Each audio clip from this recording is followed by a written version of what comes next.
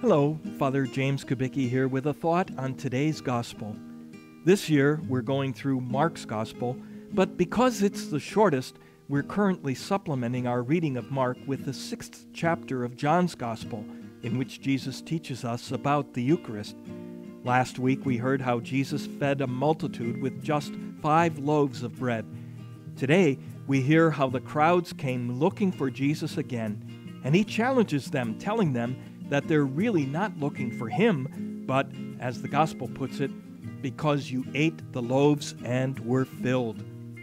This is a common temptation. I mean, wouldn't you be drawn to someone who made sure you never went hungry or who paid all your bills?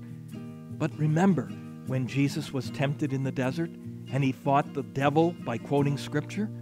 Remember one of the verses from Deuteronomy he quoted? One does not live by bread alone, but by every word that comes from the mouth of God.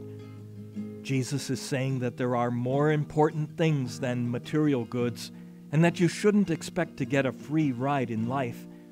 He's saying that while we need to pay attention to our daily bread, the food we need to sustain our bodies, we also need to pay attention to the daily bread that sustains our souls. And that isn't simply his words, as many Christians think.